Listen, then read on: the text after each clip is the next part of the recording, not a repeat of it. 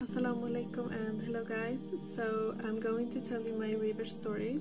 My name is Camilla and I am born and raised in Sweden and I reverted 2015. So I have been a Muslim for almost nine years now. Alhamdulillah, I'm so grateful. Before I reverted, I was a Christian. I did believe in God, so I have always believed in God, like for so long as I can remember. And my family is Christians, but they don't really practice the religion. So I did grow up with going to church sometimes, you know, when it was something special. For me, Islam was like um, an Arabic religion, and I didn't think much about it until I saw like a lot of it on the media. You know, in 2014 15, a lot of like negative stuff about Islam in media. So when I saw it, I was like, no, I don't really believe that. I don't believe like that a religion can be this bad. So one day I was talking to a friend, and we was talking about like everything. And um, from nowhere, she was just starting to talk about religion, and she's a Catholic, and she still is today she's not a Muslim, by the way.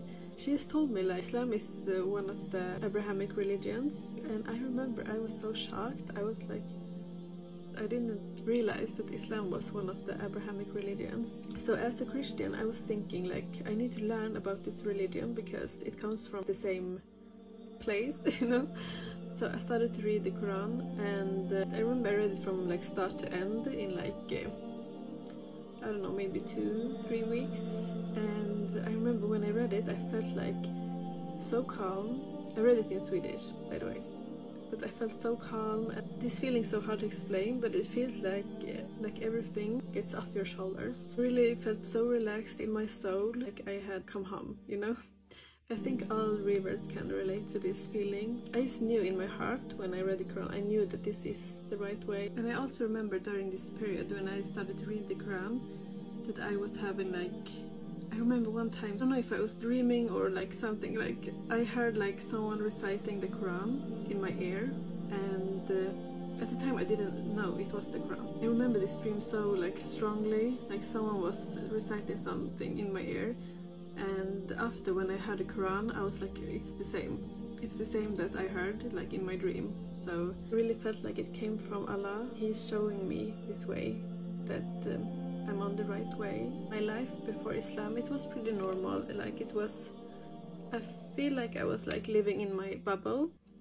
And uh, and yeah I would say that I lost a lot of friends after converting to Islam. And uh, had a lot of family members that were against it, and some of them are still today. They don't like it, but it's okay. Like most of them accept it, and it's not like a big deal anymore. Alhamdulillah, I'm really so grateful that I'm a Muslim, and I wouldn't change it for like anything in the world.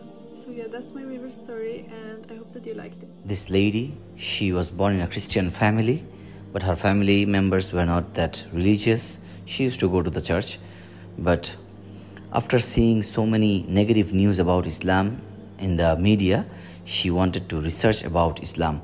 And one of her friends said that Islam is Abrahamic religion, which is like the religion that the Christianity and all other religions that evolved from that religion. She used to know like that. So she said that so Islam should be similar religion like Christianity as it is an Abrahamic religion. So she wanted to learn more about Islam. And one day she heard the recitation of the Quran in her dream. And when she woke up, later when she heard the recitation of the Quran, she found that it is the similar uh, recitation. And she thought that this is a sign from Allah subhanahu wa ta'ala for her to convert to Islam. So she later reverted to Islam. Alhamdulillah such a beautiful way of accepting Islam. Sometimes, you know, we get really frustrated, we get really sad when we hear the all the bad news and negative news about the Muslims, about Islam. They plan and Allah has a plan. Allah is the best of planners. Even with their negative marketing, people are getting to know about Islam and they are finding out the beauty of Islam and finally reverting to Islam. Today, all over the world, from Asia to Europe to Africa, you name it, Islam has become one of the fastest growing religion. Alhamdulillah. So my dear brothers and sisters, share the message of Islam both online and offline, do dawah work, be nice to people, show your good character and conduct. And if anyone accepts Islam through your dawah, Allah subhanahu wa ta'ala will reward you immensely. And Allah says in the Quran, doing dawah is one of the best work that you can do.